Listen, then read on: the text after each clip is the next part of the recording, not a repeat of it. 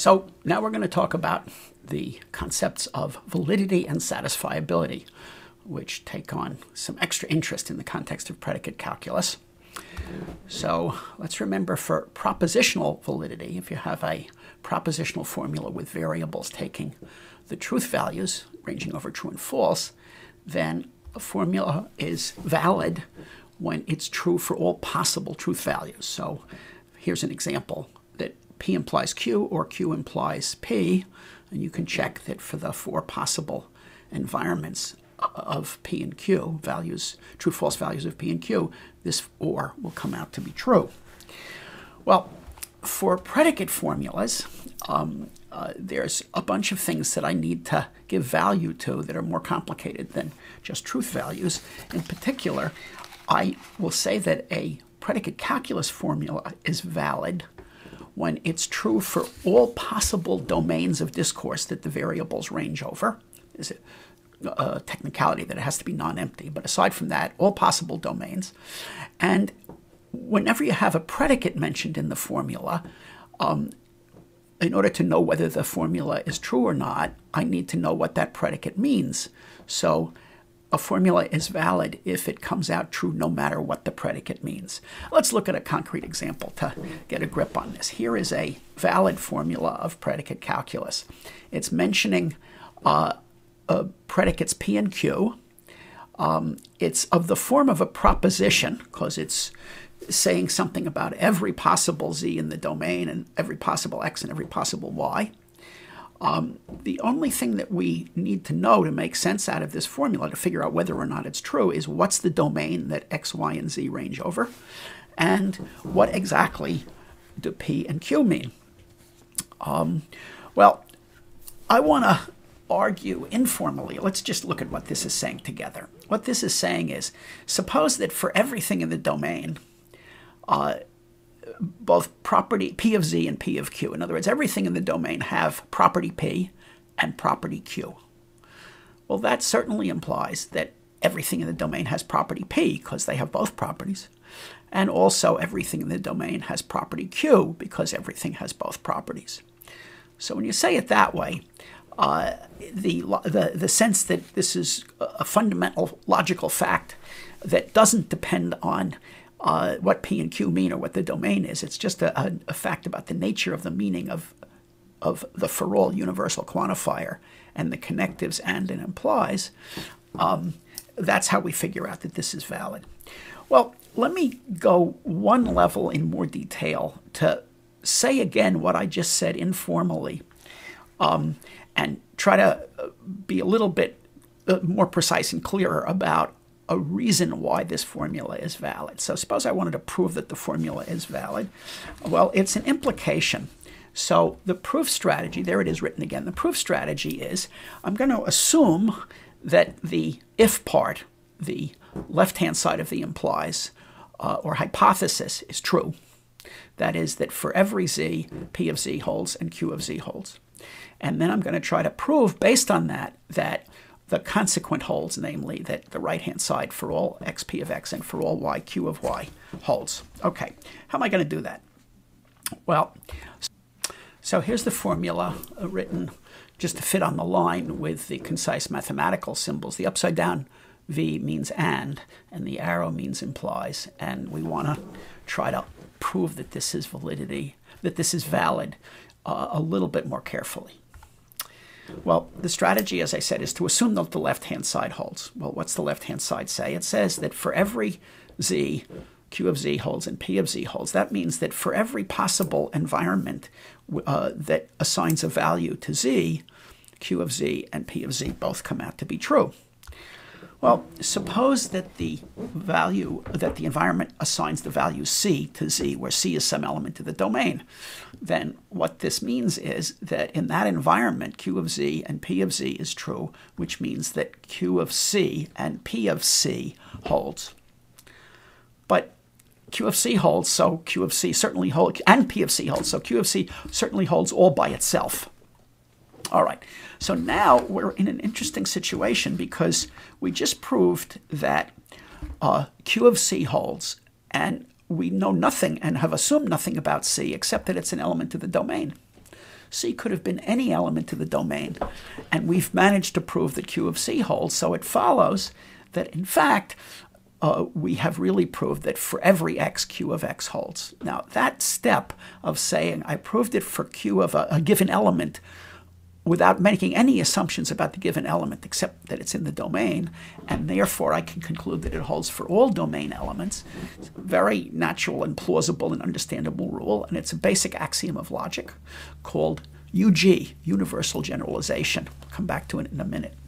Anyway, I've just proved that for all x, q of x holds, and by a completely symmetric argument, uh, for all y, p of y holds, and having proved both for all x, q of x and for all y, p of y, clearly the and holds, and I've just proved that the right-hand side of this implication is true, given that the left-hand side is true. Now, having called this proving validity, let me immediately clarify that this is not fair to call a proof because the rules of the game are really murky here. This uh, theorem, you could say that it, it, you could read it as saying that universal quantification distributes over and, is uh, one of these basic valid formulas that is so fundamental and intelligible that it's hard to see what more basic things you are allowed to assume when you're proving it. And this proof really isn't anything more than translating upside down A and, and the and symbol into English and saying that and using ordinary intuitive rules about for all and and and using that in the proof. So this is a good way to think about the formula to get an understanding of it, but it's not right to say that it's a proof because we haven't been exactly clear about what the proof rules are. And with this kind of really fundamental valid fact, um, it becomes a quite technical problem to decide what's what a proof is going to be, what are, what's fair to assume and what's fair not to assume. It would actually be perfectly plausible to take this as an axiom um, and then prove other things as a consequence of it. Anyway, going on, uh, let's look at this just for cultural reasons. We're never going to actually ask you to do anything with it. But the universal generalization rule, UG, is would be stated this way as a deduction rule in logic. Um, the stuff over the bar means if you've proved this, then you can conclude that you've proved the stuff below the bar. So what this is saying is if you've proved P of C, P of C for a constant C, then you can prove that you can deduce that for every x, p of x holds. Uh, and this is providing that c does not occur in any other part of the predicate p except that uh, uh, where you're talking explicitly about it. Um, it's hard to be more precise about that for now, and don't worry about it. But the idea is you're not supposed to assume anything about C other than it's in the domain and that it has property P uh, and you can then conclude that everything has property P. So let's look at a similar example where it is possible to prove something. Uh, namely, I can prove that something's not valid. So here's a similar looking formula. This one says that for every z, if p of z holds or q of z holds, then for every x, p of x holds, or for every y, q of y holds. And this one we're going to show is not valid. Let's think about it for a minute. What it's saying is um, if everything has either property P or property Q, that implies that everything has property P or everything has property Q. Well, when you say it that way, it's clearly not the case. But let's go one level more precise and lay that out. What I'm going to do is convince you that it's not valid by giving you a counter model where I make I choose an interpretation. I choose a domain of discourse and predicates that Q and that P and Q are going to mean over that domain, and that make the left-hand side of this implication true. And then I'm going to show you that the right-hand side is not true. And that means that in that domain, with those interpretations of P and Q, this implication fails, so it's not valid. So um, I need to make the left-hand side true and the right-hand side false. Well, I'm going to choose the domain of discourse to be the simplest one that will make this false. Namely, uh, let's let it the domain of discourse just be the numbers 1 and 2. And let q of z be the predicate that says z is 1. and P of Z be the predicate that says Z is 2. Well, um, is the left-hand side true? Yeah, because uh, the only things there are in the domain are 1 and 2, and so clearly everything in the domain is either 1 or 2. So the antecedent is true. On the other hand, is everything in the domain, does it satisfy P? Is everything in the domain equal to 2? No, 1's not equal to 2. Uh, what about is everything in the domain equal to 1? Is, is it true that for all yq of y holds? No, 2 is in the domain and it's not equal to 1. And so we have found uh, exactly what we wanted, a counter model which makes the left-hand uh, side of the implies true and the right-hand side of the implies false. Let me close with just one more example of a valid formula that we can talk through. This is the version of De Morgan's law uh, that works for quantifiers. Remember, De Morgan's law was the thing that said that the negation of P or Q was the same as not P and not Q.